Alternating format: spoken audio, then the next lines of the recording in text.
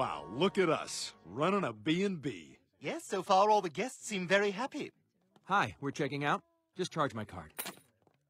That's weird. That's the fifth couple to check out after only an hour. Hi, we'd like a room, please. Wait, I'm sorry. Weren't you just here a moment ago with a different man? Oh, crap. Stewie, we have a problem. The only people checking in are here to have sex with prostitutes. What? Nonsense! Well, then why are they all signing the guest book and writing quaint things like railed crystal good? Oh. Damn it, this is awful. How could I have not noticed sooner? I mean, it's more obvious than when George Takei was in the closet. Hey, George, how are you? I am a heterosexual. I love vaginas. Um, num, num, num. So what are you doing tonight? Hopefully choking on some lovely lady parts. Oh, numbers. All right, that sounds fun. See you later. I am a heterosexual. Ladies, this is my associate. Brian, bitches. Bitches, Brian. What?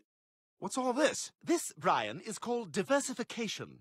You see, if our guests insist on bringing prostitutes into our B&B, we might as well provide the women too. What?